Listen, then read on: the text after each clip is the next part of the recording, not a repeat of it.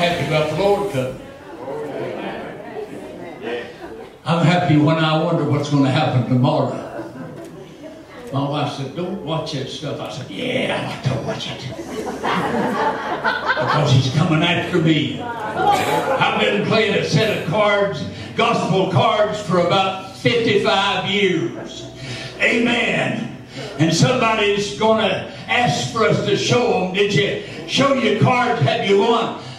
Planning on winning this race. And whatever comes my way, I believe God will settle it in my heart that I can make it till he has Gabriel blow that trumpet.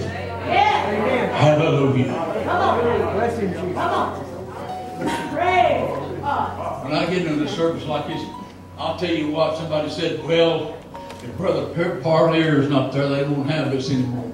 They'll have it somewhere. Yeah. That's it. That's it. They'll have this thing where these soul winners are going to shout the victory of God for your soul is longing.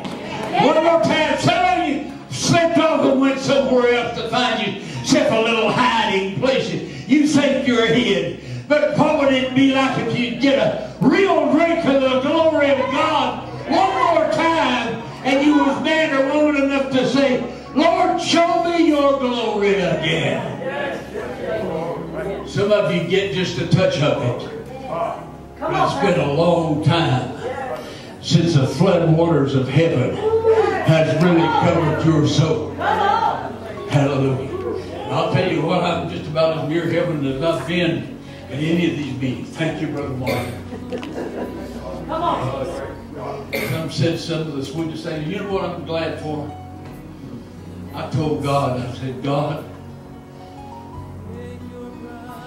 they write books. They build big churches. They do everything in the world. And I said, God, I just want to hear you say, well I don't know where I'll ever be on the field again. I've never left it. But I can only do what I can do. And Tom's asked me to preach a number of times. And I said, son, you need to practice. Just go ahead. And he's a good preacher. He feeds my soul, and I'm glad he does. He does wonderful preaching. Yes. I want to tell you something.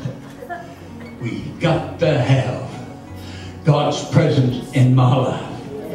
Let me live under an oak tree and get an apron, and every once in a while fall at my feet.